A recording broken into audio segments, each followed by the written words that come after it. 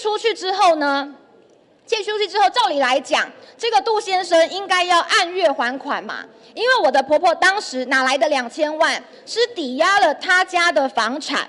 向银行抵押了家里的房产，有了这么多的钱，才去把这个借给了他的女婿，也就是杜秉成先生。借给杜秉成之后，照理来讲，每一个月是不是杜先生都要还款，婆婆才能拿他还的钱去还偿还银行的利息？可是，一借出去之后就覆水难收，再也没有回来过任何一毛钱。所以这时候，我的婆婆就面临到了